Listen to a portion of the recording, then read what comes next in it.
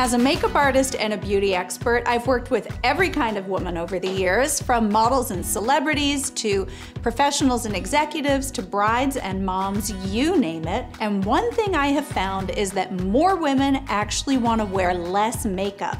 They just want to wear it better. That's why I developed my own approach to beauty and wrote my very first book, Lazy Perfection The Art of Looking Great Without Really Trying. This book is going to show you how to use my lazy perfection methodology to get a look that's easy and flattering without a bunch of complicated steps. You'll learn how to purge and organize your kit, how to set up a simple but effective skincare routine, and even how to go shopping for makeup.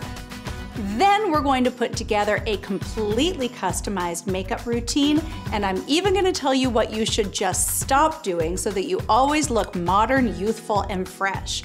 And at the end of the book, I've included a big long list of my personal product recommendations. So here are a couple of sneak peek tips for how to use my number one makeup item, concealer.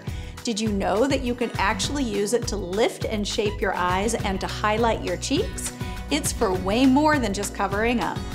The book hits stores May 9th, just in time for Mother's Day, but if you pre-order right now, you're also going to receive this Lazy Perfection cosmetic case filled with samples from some of my all-time favorite brands like Patchology, Ren Skincare, Veneffect, Hand Chemistry, Dermalect, Reloxin, and Dermaflash.